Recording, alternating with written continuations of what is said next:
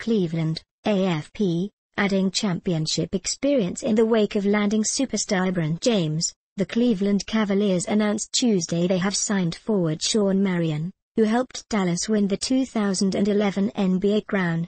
The Cavaliers were revitalized when James, who led the Miami Heat to two NBA titles and two more runner-up showings over the past four seasons, returned to his home region club in July.